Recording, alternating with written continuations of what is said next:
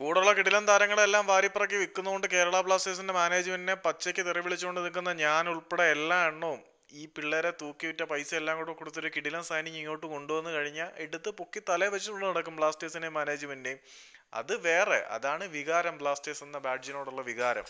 അപ്പം കേരള ബ്ലാസ്റ്റേഴ്സ് ഒരു കിടിലൻ സൈനിങ് കൊണ്ടുവന്ന് കഴിഞ്ഞാൽ തീരാവുന്ന രോക്ഷമൊക്കെ തന്നെ ആരാധകർക്കിടയിലുള്ളൂ. അത് ഞാനായാലും അങ്ങനെ തന്നെ. പക്ഷേ ഈ വിറ്റ് തുളച്ച പൈസയ്ക്കെല്ലാം നല്ല ഒരു അത് മാച്ച് ചെയ്യുന്ന തരത്തിലൊരു കിടിലൻ സ്ട്രൈക്കർ വന്നു കഴിഞ്ഞാൽ നമ്മളെല്ലാവരും ബ്ലാസ്റ്റേഴ്സിനെ എടുത്ത് തല വെക്കും. അത് വേറെ കാര്യം.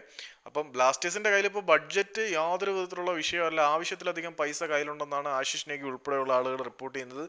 ഈ ക്യാഷ് എല്ലാം കയ്യിൽ വെച്ചുകൊണ്ട് കേരള ബ്ലാസ്റ്റേഴ്സ് ഒരു കിടിലൻ സ്ട്രൈക്കർക്ക് വേണ്ടിയിട്ടുള്ള അന്വേഷണം ആരംഭിച്ചിട്ടുണ്ട്.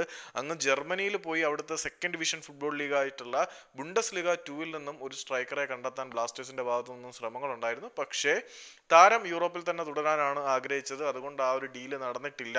എന്നിരുന്നാൽ പോലും മികച്ച മറ്റ് ഓപ്ഷനുകൾ കൂടി കേരള ബ്ലാസ്റ്റേഴ്സ് പരിഗണിക്കുന്നുണ്ട് എന്നാണ് ആശിഷ് നേഗ് റിപ്പോർട്ട് ചെയ്യുന്നത്. അപ്പം ഈതർ ബുണ്ടസ് ലീഗയിൽ നിന്ന് തന്നെ അല്ലെങ്കിൽ ബുണ്ടസ് ലീഗയിൽ നിന്ന് തന്നെ ഒരു സ്ട്രൈക്കർ ബ്ലാസ്റ്റേഴ്സിലേക്ക് വരും എന്ന് പ്രതീക്ഷിക്കാം. ദിമിത്രിയോസ് ഡിയമന്റോക്കോസിന് ഒരു മികച്ച പകരക്കാരൻ ബ്ലാസ്റ്റേഴ്സിലേക്ക് വരും.